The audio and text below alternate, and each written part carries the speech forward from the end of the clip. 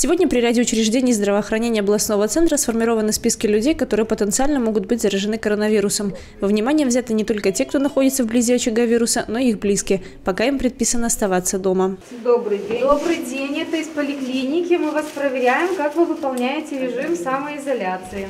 То, что человек переведен на режим самоизоляции, еще не говорит о том, что он болен и является переносчиком вируса. Это в основном люди, находившиеся на работе за рубежом, либо те, кто мог контактировать с уже зараженными коронавирусом. В целях профилактики их медики на время изолируют до полного выяснения обстоятельств, а соблюдение режима контролируют совместно с правоохранителями. Брестская милиция, как и по всей стране в целом, совместно с медицинскими работниками участвует в рейдовых группах, которые проверяют а, правильность соблюдения режима самоизоляции теми гражданами, которым это предписано.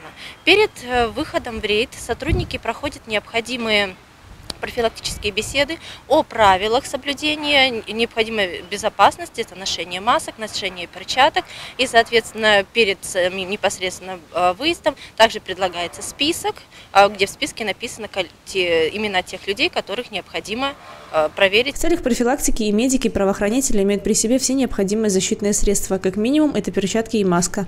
Работа будет продолжена до тех пор, пока с медицинского учета не будет снят последний человек, находящийся в группе риска. Списки посещения посещаемых постоянно уточняется. Каждому из них рекомендуется выходить на улицу только по острой необходимости, вооружившись обязательно одноразовыми перчатками и маской. Анастасия Ноздрин, Плотницкая, Эдуард Букунович, Александр Макаревич, телекомпания БУК-ТВ.